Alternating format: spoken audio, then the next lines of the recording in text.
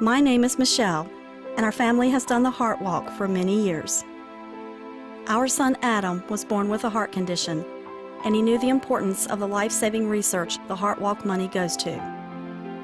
In the eighth grade, Adam collapsed and died. Adam will always be in my heart. That's why we continue to walk, so that no other parent will know how it feels to lose a child to something we can cure.